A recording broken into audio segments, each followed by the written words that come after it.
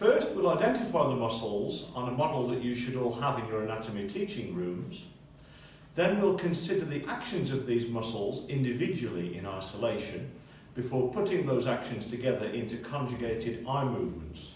So let's take a look at the model. So this is a model showing the eyeball and the extraocular muscles within the orbit. To help you to orientate yourselves, this is superior, this is inferior, and we have medial and lateral. You can see that the lateral and part of the superior wall of the orbit has been removed to allow us to visualize the contents. Before we talk about the muscles themselves, let's consider some of the other soft tissues found within the orbit. Firstly, I'd like to direct your attention to this area of connective tissue at the posterior aspect of the orbit. This is known as the tendinous ring and provides the point of origin for the majority of the extraocular muscles. A piece of soft tissue which is not found on this model is the suspensory ligament of the eyeball, which I would like you to imagine as being like a hammock upon which the, the eyeball sits. So let's have a look at some of the muscles. The first muscle that we'll consider is the levator palpebrae superioris you can see that it takes its origin from the tendinous ring and inserts on the upper eyelid. The action of this muscle is to elevate the upper eyelid. This muscle has quite an interesting innervation. Most of its fibres are skeletal muscle supplied by the oculomotor nerve. However, there is a small smooth muscle component which receives sympathetic innervation. This explains why we can have ptosis both in Horner's syndrome and in a third nerve palsy. Looking inferiorly to levator palpebrae superioris, we can see the muscle belly of another extraocular muscle. This is the superior rectus, and we can see its insertion on the eyeball by removing the eyelid.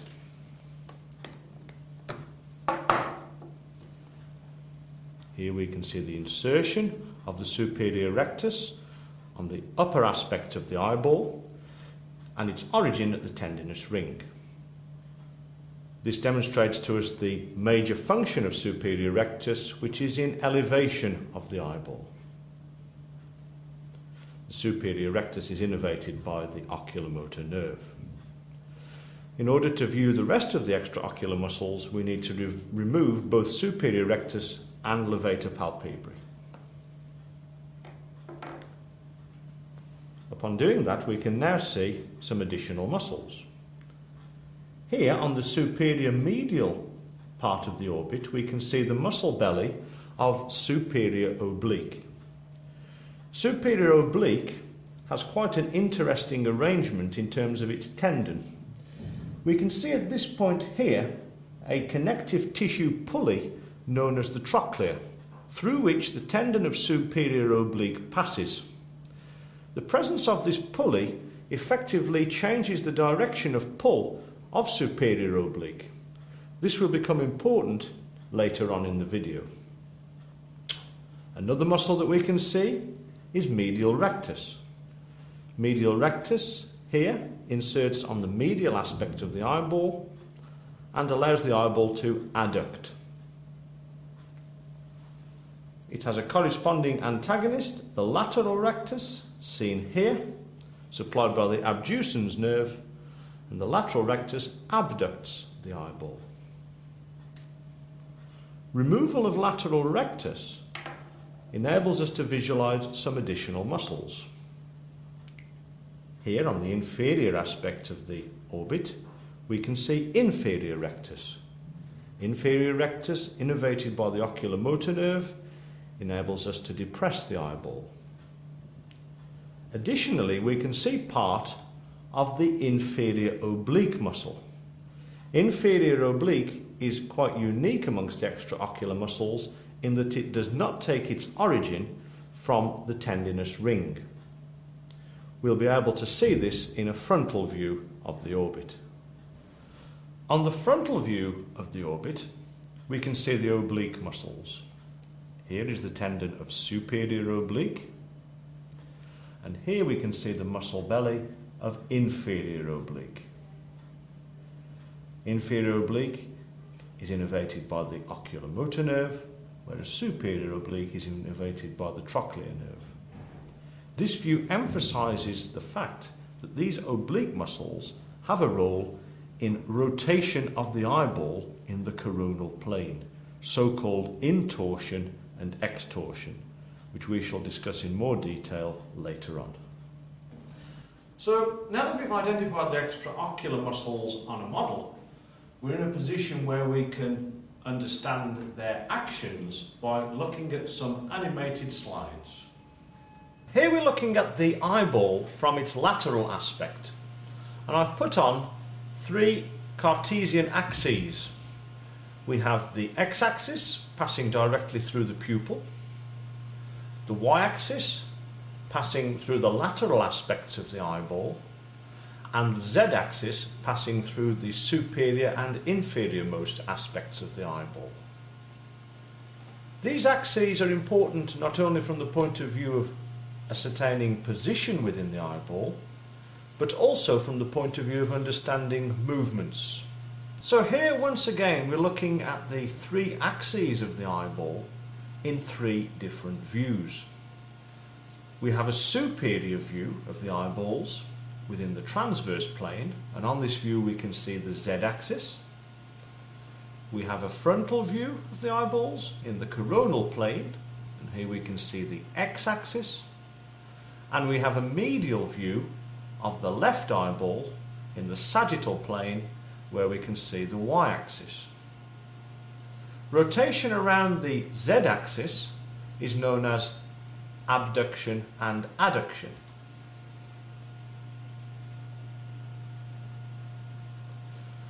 Rotation around the x-axis is known as intorsion and extorsion and rotation around the y-axis is known as elevation and depression.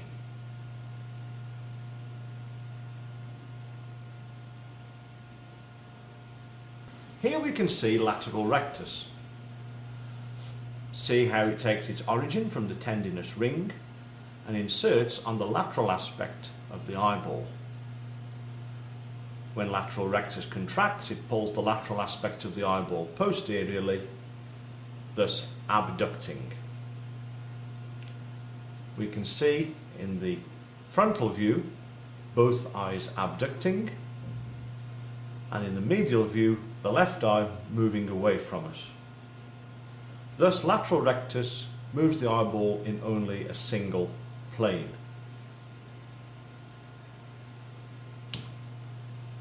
Similarly, medial rectus moves the eyeball only in the transverse plane. However, medial rectus adducts the eyeballs. We can see that medial rectus takes its origin from the tendinous ring and inserts on the medial aspect of the eyeball. This leads to adduction. Once again, medial rectus only has a single component to its action. Superior rectus, however, has two components to its action. If we consider the superior view first, we can see that superior rectus takes its origin from the tendinous ring and inserts in the anterior superior half of the eyeball. The black dot in the centre of each eyeball represents the position of the z-axis and you can see that the superior rectus tendon takes its course medial to the z-axis. This leads to an element of adduction when superior rectus contracts. If we look at the medial view, we can see also that superior rectus inserts superiorly on the eyeball. This causes superior rectus to have a component of elevation when it contracts. The elevation and adduction components work together so that on the frontal view we can see the eyes moving in a diagonal direction superiorly.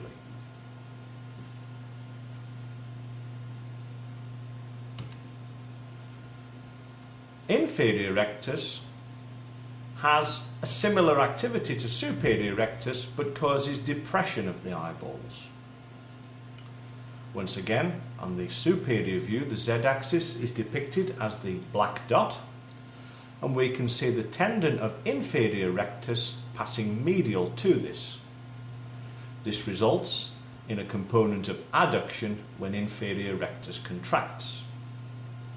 Considering the medial view, we can see that inferior rectus pulls the inferior surface of the eyeball posteriorly, thus leading to depression of the pupil.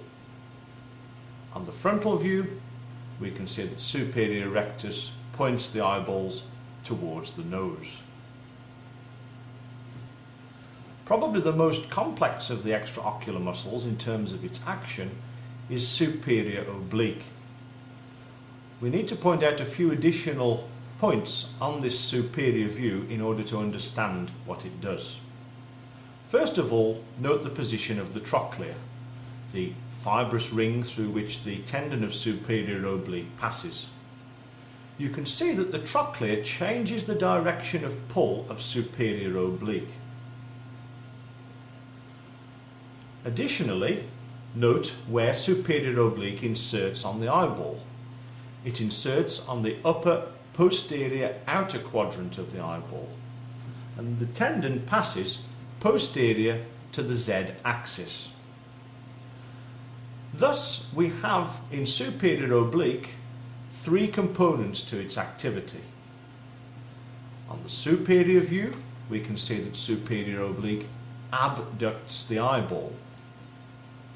On the medial view we can see superior oblique depressing the eyeball. Additionally, if we look at the frontal view, we can see that there is a component of intorsion when superior oblique contracts.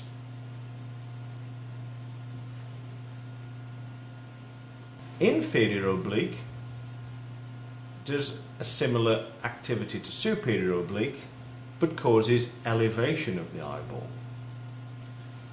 Note with inferior oblique how the muscle takes its origin from the medial orbital wall and not from the tendinous ring. You can see that the muscle fibres of inferior oblique insert on the inferior outer posterior part of the eyeball and pass posteriorly to the z-axis. Thus, on the superior view, we can see that inferior oblique causes abduction of the eyeball. If we look at the medial view, we can see how inferior oblique leads the eyeball to elevate by pulling on its inferior surface. Additionally, inferior oblique antagonizes superior oblique by extorting the eyeball, seen in the frontal view.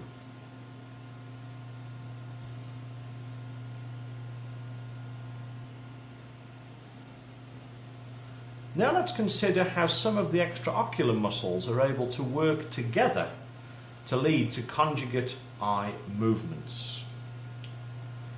Here we're seeing how left gaze occurs. Left gaze occurs entirely within the transverse plane and is mediated by the coordinated activity of the lateral and medial recti. We can see that we have simultaneous contraction of the left lateral rectus and the right medial rectus. This leads to leftward gaze of the eyes. This coordinated activity of the lateral and medial recti is coordinated by a pathway within the brainstem known as the medial longitudinal fasciculus.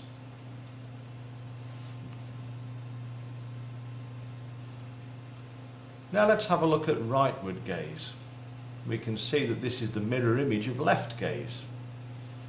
In order to gaze to the right, we need to contract the left medial rectus and the right lateral rectus. Elevation of the eyeballs is a slightly more complex movement. This involves superior rectus and inferior oblique working together. Notice that superior rectus has an elevation and an adduction component, whereas inferior oblique has an elevation and abduction component. If both of these muscles work together, the adduction and abduction components cancel one another out, leading to pure elevation of the eyeballs. A similar situation occurs if we wish to depress the eyeballs. Superior oblique has an element of depression and abduction, whereas inferior rectus has an element of depression and adduction. The adduction and abduction components cancel one another out, leading to pure depression when both of these muscles act together.